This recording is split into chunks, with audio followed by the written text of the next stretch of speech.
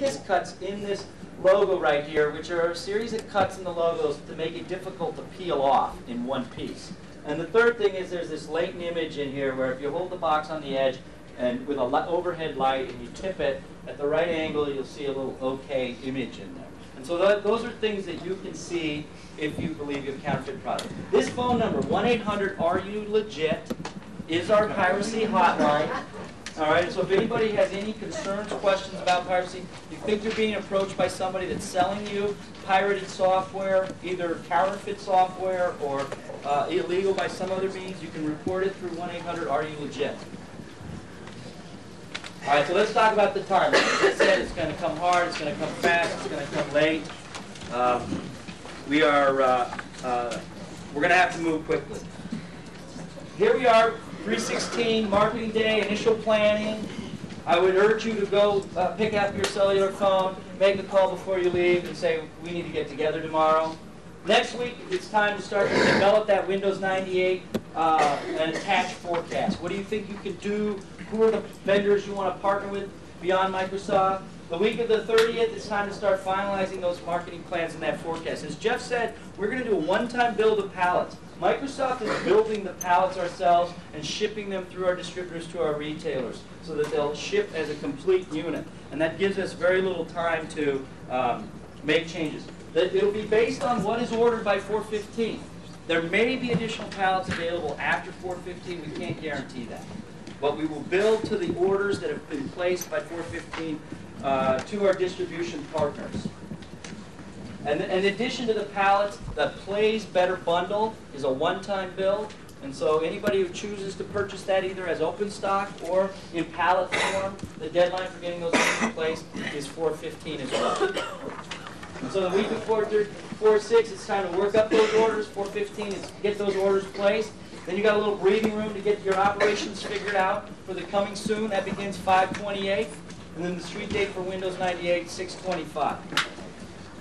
Our people are, uh, are familiar with our, our program. They're ready to start talking to you about how we can maximize this, uh, this launch and help you uh, make this a success. I do want to mention for the Canadian retailers, at 1 o'clock in the Oxford room, Microsoft Canada is holding a briefing for our Canadian retailers.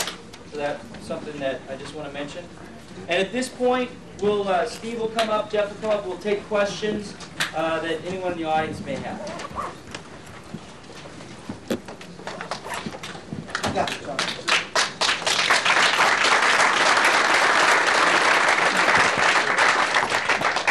Is there any form of technology guarantee on Win 95?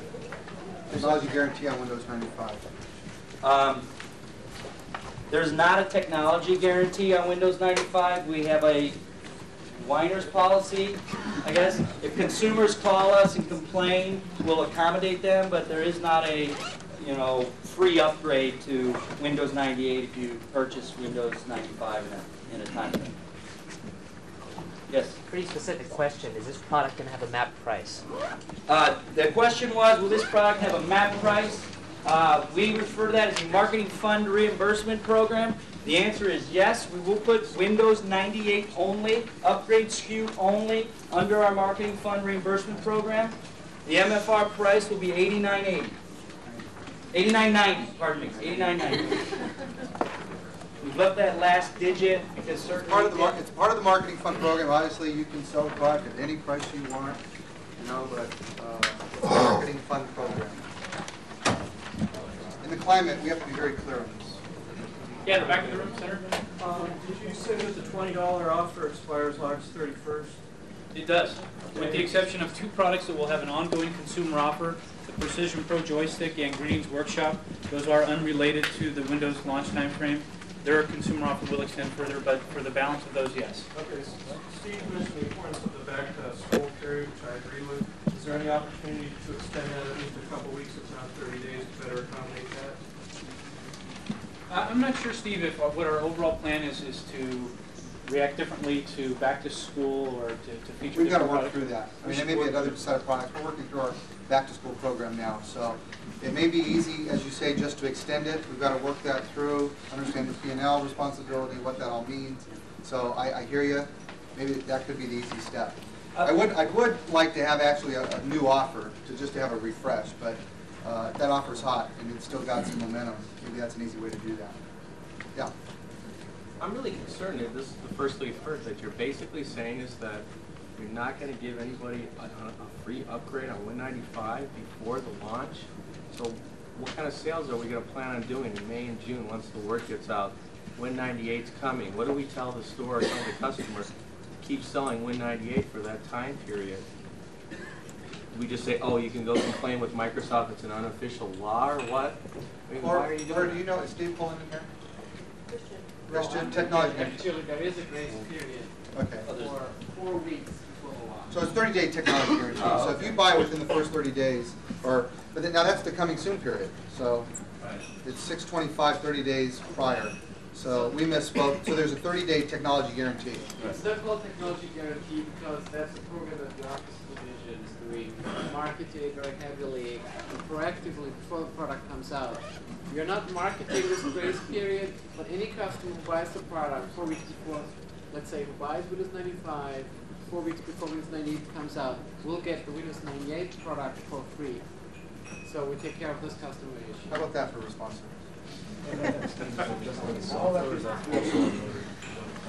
Um, uh, The question up front was regarding if that was only on software or on loaded systems. Every OEM has their own upgrade policy for systems that may have Windows 95 and consumers that buy them before or after the Windows 98 launch. Uh, We tried to get a comprehensive list. You really have to get that from each OEM individually. Let me very briefly summarize the OEM piece. There is an OEM section, so you should talk to your, your OEM reps and so forth. But basically, um, we've tried to do as much learning from the Win95. We um, will have one coupon. If you remember last time, each OEM had their own coupon. So there was a, there was a challenge in terms of looking at all the different coupons. So we'll have one coupon. There'll be one place you send the coupon to, which is was different. There's multiple places. The price of the rebate or the deduction is based on the OEM. So each OEM is going to determine whatever price they want. So we've simplified two of the three. And we think, in talking to most of our partners, that's an improvement over last time. But you need to talk specifically with your OEMs. Other questions? Without getting too technical, exactly how is PID 3.0 going to work? I you're talking about a CD where you can't delete something like you used to be able to do on uh, uh, disks. Is it a case where when you log onto the internet, Microsoft's going to look at the consumer's machine? Is Christian here? Uh, Christian? He's here, but we couldn't hear the The question is about PID 3.0. I, I'm sorry, I can't tell you exactly, without getting too technical. PID how- 3.0, how how is PID. PID 3.0 specifically this um, ability to uh, do compliance checking and uh, prevent multiple copies on, uh, of, off of a single set of media? Well, I was out of the room, so I don't know exactly what the question is. Is it about how the PID works technically? Yeah, uh, just if you could give kind of an overall statement about that. Um, I'm not up to speed. I would have to get back to you. Okay, we need to take that action. Yeah. So we need to get a, a, a communication exactly how that works. I will talk to our piracy because that's totally new how they do that. What are your concerns? Well, right now, because 98 is literally on CD, there's no way, like on the old, uh, the old three and a half inch disc-based media, to go out and change a certain program.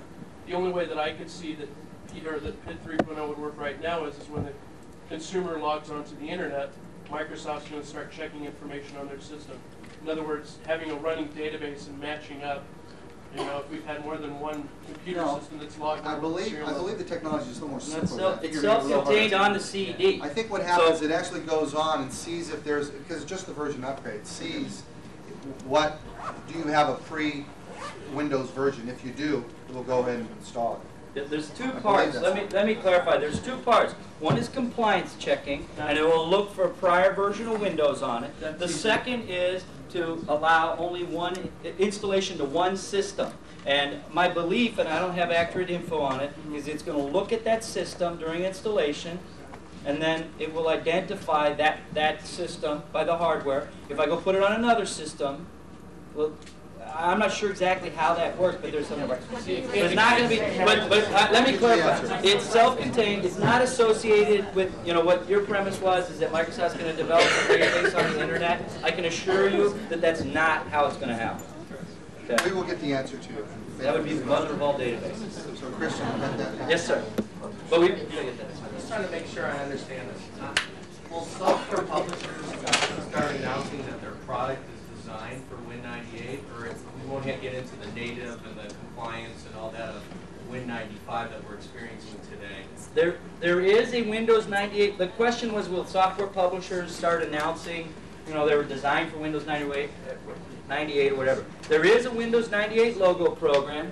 Products, hardware or software, will go through the Windows hardware and software quality laboratory for testing to validate that they actually work with Windows 98 and then get authorization to use the logo. And so then those vendors will use the logo on their products. What So- will it say? it will be a, uh, it- I don't know if we got an example here of the logo.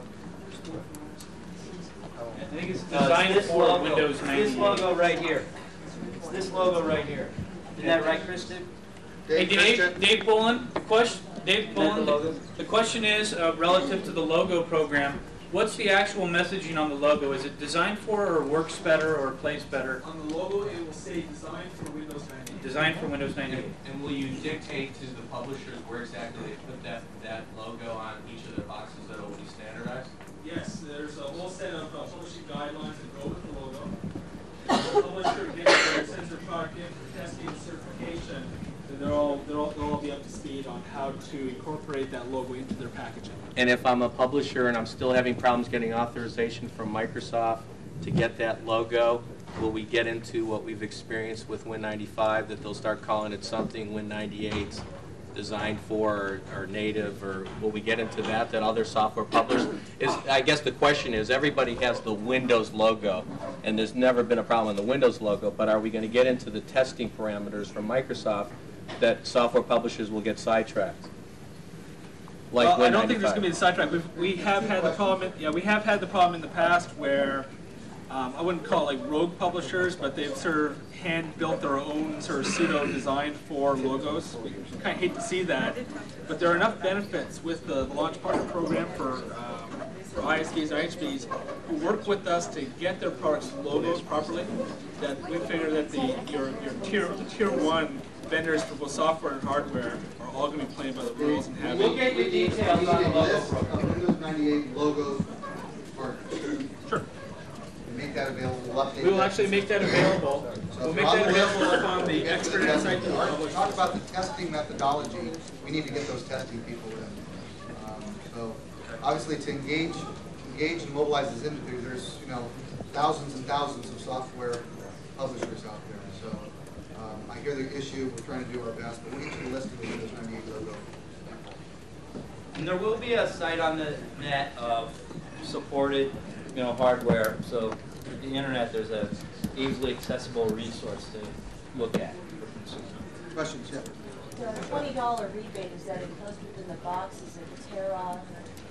The twenty dollar The rebate. question, the question was about the twenty dollar rebate and how that's executed. Yeah. Uh, The twenty dollar rebate in some cases will be applied uh, in manufacturing and others will be applied in the field. There'll be, uh, there will not be any inbox rebates. um, And uh, it will be like a rebate pad with mail-in. All the pallets will have the rebate pads mounted on them, and then we'll do supplemental merchandising uh, to get the pa- pads out to retailers that don't bring in the pallets. Yeah. Do you just have one travel card or you have an optional card? Uh, The question is, is do we have one pallet or an optional pallet?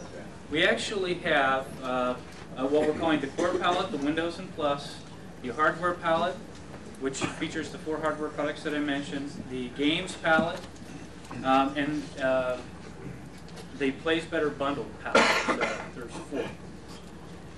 It's one product, right? There's no, Oh, yes, there are other displays. Remember the semi-permanent display, the one that you saw, uh, and that you'll see in the back of the room, is uh, ships empty. Uh, you can merchandise it uh, the way you would like to, based on what you feel is the best attach opportunity for you and your customers, um, as well as the floor stand. So there is flexibility there. There is not a build-to-order custom pallet, that's what the question is. If, if you're looking to make a custom pallet, because Microsoft is building these pallets, it's one configuration with a set amount of product. If you're looking to have a pallet display with, a- with alternative mix of product, uh, we'd suggest to talk to your distribution partner and, and determine if they can help you with that. We have made the other merchandising form factors available as well. So we're trying to give you flexibility in a variety of different form factors, but the pallets themselves are fixed because we are manufacturing those at Microsoft. Any other questions? Yes, sir. Yeah, on the pallets, um, what are you guys, what's, what's gonna happen if there's damage between either Microsoft and distribution, or between distribution and the uh, retail? We will have some, we will have some uh, surplus componentry built. Uh, We're, we're working very hard to do the stability and road testing. Uh, We subject all of our merchandising and are, in- and uh, placing a particular emphasis on it in this uh, campaign timeframe to do the stability testing around the pallets and do the damage percentage. What we do is we get a failure percentage from those testings, and we produce componentry parts for each of our distributors uh, and manufacturers for replacement of those. Does that include putting the pallet on a truck and driving it around? Or It- that Yeah, that's all, that's all being done by operations. Al, I don't know if you can talk about the specific testing. I believe these folks are from distribution. We may want to, you know, get into specific detail about that testing that we're doing, but I know that, The testing, I can tell you, is very thorough. It includes, you know, from dock A onto truck, onto dock B, off of truck, back onto truck C, that goes then to, you know, fictitiously retail place with uh, bumping and loading uh, in quantities that are reflective of actual shipping. So we're working with the best stability tester in the industry, uh, at least we feel that way, and uh, we're, we're looking at those results right now. So we're still working on it. we share that concern. We want them to arrive as good merchandising uh, form factors. Any other questions? Yes, sir. Yeah, um, what are the recommended requirements for a machine to run Windows 98? I mean, I know you said Pentium 16, uh, but Windows You don't 95 believe it, allows right? you work on a 386. I, I- I'm hoping for some hard questions. We're saying Pentium 16. We believe that by the time of launch, there won't be, you won't be able to buy a machine that has less than 32 megs. And I think you would concur with that. But are you Memory's so cheap, we're saying Pentium 16. That- It may be an As a minimum, but what's recommended? Actually, there is no, there is no official recommendation. The reason we cannot do that is depends on usage. As an extreme example, if you use Photoshop, you want 64 megs to have a print period. Period. We have a If you use, if you use a word processor, 16 meg is good enough. I mean, We, it we would suggest that's an opportunity for you. If you think there's more to sell more, I mean, we believe, just from a directional standpoint, the world of 64 megs is gonna be here very soon. So, you wanna get them now, or, I mean, those are all just opportunities to sell. So our recommendation is Pentium 16. You wanna sell them 32 more makes more, 16, 64, sell, sell, sell. We're saying, hey, here's an opportunity. People are gonna ask those questions. Let's be good merchants, let's be good salespeople. Let's sell them some more memory, if that's an important attach. Uh, that's how we would like to look at it. Yes. Yeah, uh, on the partners list, you don't have, well, there are a few software publishers there. Uh, Are we gonna get more software publishers, uh, partners, and then can we get those lists? Well, we'll provide updates to our partner. The question was about who was on our list and who's not on our list with regard to our partners. We'll provide more, uh, more complete lists and, and update you as we get more information.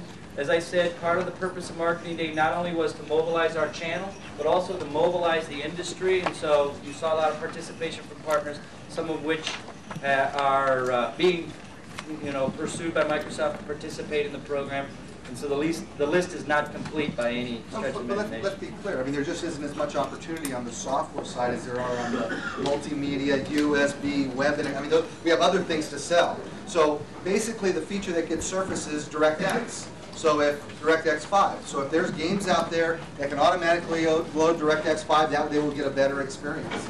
So, but a lot of the gaming experience is gonna be on peripherals, game pads, full force feedback, those type of things. So, yeah, we're gonna try to get as many partners as possible, but the opportunity to get software partners is not as great as to get some of these other partners, and that's what we're focusing on. Yeah, question over here? Yeah, how will, if a game is meant, if a game is designed for Windows 98, how will it run if a person does not have Windows 98? Run back on Win 95. I'll have to ask the gaming guys back here. Who do we have from IMG? John I Rodman. believe the way it works. John, John, the question, the question. The question is this. Windows 98 and DirectX capable games, how does that work? And then DirectX 5, DirectX 5, DirectX 5 capable games, how do they work on Win95? Give us the benefit. What, what's the experience? I'm not sure exactly. What's the benefit? I can, I can answer the question. A game that supports DirectX 5 APIs will write directly to the hardware via the new APIs, so therefore it will perform action scenes faster, and the graphics will be at the same time more realistic and engaging than games that do not have access to the hardware using those APIs. So the gaming experience is a better one because you get better performance on a similar machine and more engaging, more realistic graphics, 3D Well, graphics. can work backwards. So if a game is optimized for 98, what will it do if a person has not upgraded yet to 98? They're still playing it on Win 95. You can still play it, but you will not get the same performance. On the same on the same hardware, you will not get the same performance. Now, if you, on, in addition to that, add a 3D hardware accelerator card, Windows 98 will even take advantage of that. On top of it, it will even be performing faster than Win95 on the same computer with the same card.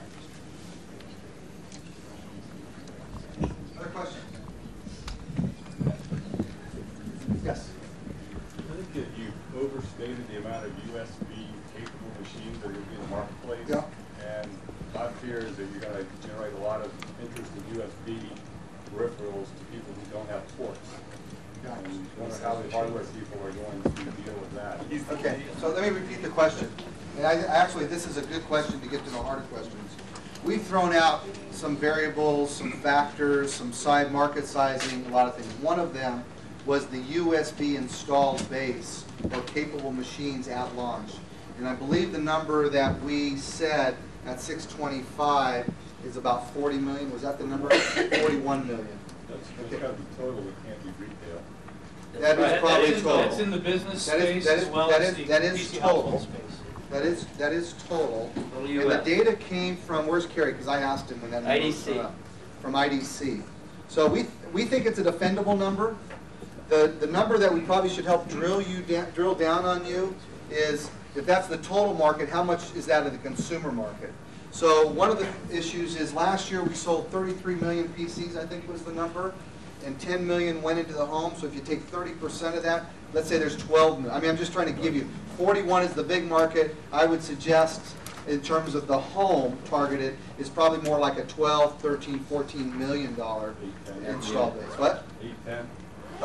Well, I mean, we're working IDC, we'll work the numbers, but IDC says it's 41 million, I just tried to do a very simple, but you may know that better than we do. Um, But we should give you a number that, you know, if you say 8 to 10, I said 10, we should at least talk and say, what do we really think it is, what's defendable? 40 Thirty million households that have machines that won't be able to take advantage of one of the major benefits of your marketing too. I'm just worried that you're gonna generate a lot of sales of peripheral products particularly that won't work. Won't work because the US, there are no USB machine. I hear the concern, we'll, we'll have to make sure that we're very clear on that messaging. And your partners, And what? and your partner partners. Yes. Oh, there's your attach for a USB add-on card. Exactly. Also keep I in mean, mind, that- that- I'm, I'm hoping that's the way we're starting to think. I mean, but That is a I- genuine concern, and, and as this gentleman said, there's an attach opportunity for USB device interface cards associated with that. Also, keep in mind one thing too, who our, who our target consumer is in the 90-day timeline, right? We're going for the early adapters in the near term. Now, Steve mentioned that this uh, opportunity may span over six months, maybe a year, I don't know. But let's keep in mind the fact that these are people who've embraced technologies, and we know a couple of things about them. Their desktops are not necessarily reflective of John Q. Public, right? They've got more enhanced uh, features and benefits. They've probably been buying hardware uh, more recently and upgrading. So they, they, we know that this consumer target will benefit more from the latest technologies. Yeah, I we should, we should add to that, that with the exception of the IntelliMouse USB, uh, Microsoft hardware is working to make combi products. So when the customer gets the product home on USB peripheral, they can use the USB port or they can use the game port or PS2 or whatever's appropriate for their machine. So our goal is to have a combi product for customers. Combi So- USB or whatever. Yes. others. Somebody, somebody mentioned that 3D uh, games run better on Windows 98. How does that work? Does it- Does that mean that 3D FX games run better as well? Are they taking advantage of that? or- Um, I- I'll take that question. 3DFX is a competing gaming platform, so a 3DFX game will not take advantage of Windows 98. Yeah, actually, I don't disagree that uh, by your numbers, it might be a bigger launch than Win95, but um, my understanding is that Microsoft's not going to do as much in mass advertising, television, things like that. Why not? Um, It's pretty simple. We try to match our marketing to the revenue opportunity in the most efficient, effective way. I mean, how much more do we have to do? And we have to make the business trade-offs of saying, hey, if this is Win 95, how can we get to Win 95 and how much do we have to spend? If it's bigger than Win 95, we're just trying to make some adjustments and some business trade-offs. I mean, if the, if the math was every time we just have to spend like Win 95 to do Win 95, then I'm not sure what value add we bring to the party. Our business opportunity is to say, how do we maximize the revenue opportunity for the lowest cost and the most efficient marketing? One of the things that you saw with our marketing plan now is because of the number of users on the internet, we think we can get and market to those people more efficiently than we could with Win95 three years ago because the internet has allowed that. We're doing a lot of our pre-sale demand generation directly to those super users and early adopters via the internet. Those 22 million people that are already connected there. We're trying to drive, drive, drive to that to get them into your store, and that's our target market. So if the question is, why don't we just spend like drunken fools to match Win95, we're not interested in that. We're trying to make sure we spend appropriately to maximize the revenue opportunity, and that's why we're trying to make those business decisions. I I guess the messaging, some of the messaging we heard yesterday and also months back is that uh, you're not going to spend that level because it wouldn't be appropriate to do so. So, you know, I'm, I'm reading that as because you don't view it as big a launch, but I, I wouldn't say that. I would, I would say, hopefully we can mobilize the industry, get enough product mix out there, send the right message, get our ISV, IHV partners, work with our resellers to, to bring the consumer messaging. And if we can do that for 10 million, 5 million, whatever it's going to take, the less we can spend to maximize that opportunity, we're interested in it. That's what our shareholders are trying to make sure we drive towards. So that, that's what we're trying to do. Now, if there's an issue we don't think you're marketing enough to seize that opportunity, we should have that discussion. We don't want to undermarket, we want to market appropriately. So that's a different conversation than, why aren't you spending as much on, as on Win95? We just don't think we have to. There's a bigger learning curve, bigger migration, 16-bit, 32-bit, GUI interface, I mean, it was just a different game. So the good merchants here are gonna have to figure out, how do you make the transition play for you, okay? Versus Win95, there's all this hoopla. So that's where we wanna work with you to say, what, how do we sell, how do we communicate, how do we target with the right marketing, the right messaging to make that happen. We believe our proposition, huge opportunity. In some ways, Windows 98 is smaller, but the opportunity is bigger. I like that. I, I like that formula. We can sell more by doing less. I think that's a good business proposition. And those are still pretty aggressive reach and frequency numbers. If you're gonna reach everybody in your target audience eight times in print, um, that's still healthy.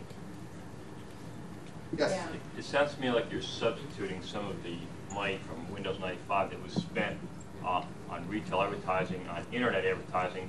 In conjunction with that, are you then going to sell directly to those people that you've marketed to? So instead of We, having them... we have no, we have no intention in any of our strategies or plans. We have are completely committed to our partner model. So I I Um, would not be able to buy a Windows 98 from Microsoft in any way on it. That's not true. You can buy it at ERP, as you can today. You can call an 800 number today and buy any of our products at estimated retail price, which is typically 20 to 30 percent.